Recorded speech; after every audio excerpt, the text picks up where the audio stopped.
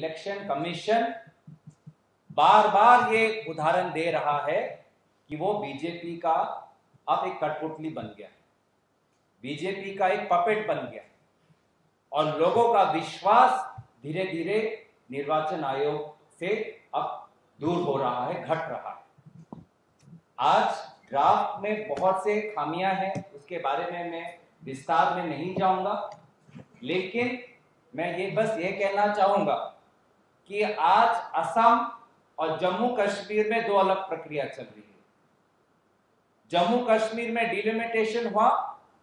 2011 के सेंसस के आधार पर वहाँ पे सीटें बढ़ाएगी।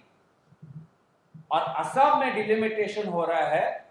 20 साल पुराने सेंसस पर 2001 के सेंसस पर। और जिसके आधार पर आज हमारी लोकसभा में हमारी सीट नहीं बढ़ रही। विधानसभा में हमारी सीट नहीं बढ़ रही। सिर्फ़ नक्शा को इधर का उधर उधर का इधर किया जा रहा है राजनीतिक उद्देश्य से।